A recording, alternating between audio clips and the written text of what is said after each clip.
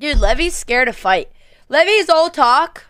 So like, oh yeah, oh, you're a boxing form him shit. Oh, you're scared to box. But this man, I haven't seen him. I haven't seen him sign up for a boxing match himself yet. So he's talking about boxing, but I, I'd like to see him fight, and I would happily take him.